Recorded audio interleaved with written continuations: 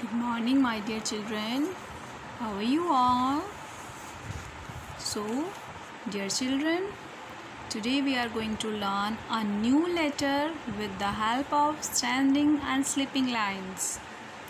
Before starting a new letter, let's recite a rhyme. Excellent E. You all will listen carefully and then repeat after me. Okay? E is for elephant.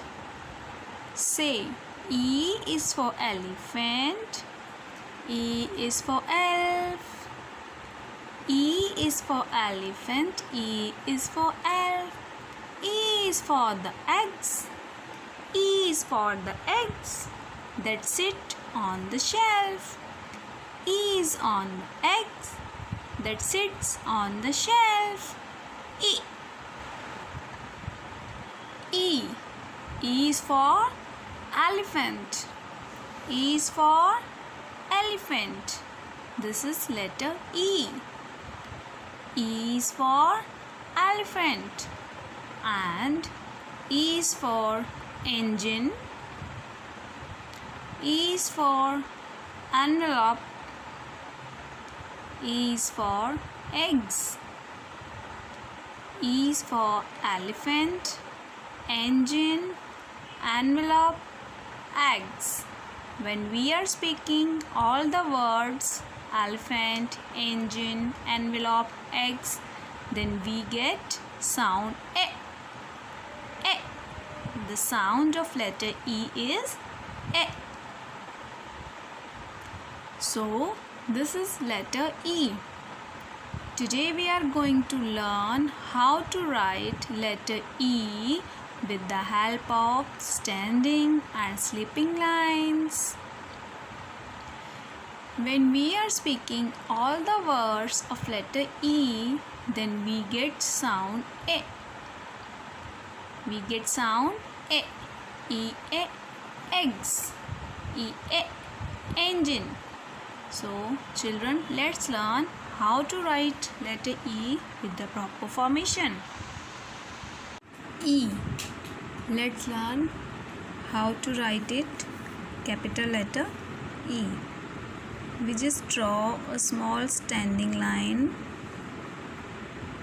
then sleeping sleeping and sleeping to make letter E to make letter E. Draw a standing line within the two three lines. Then draw three sleeping lines to make letter E. It means one standing line and three sleeping lines are made letter E standing slipping, slipping and sleeping. Letter E. E A egg. E A engine. E A elephant.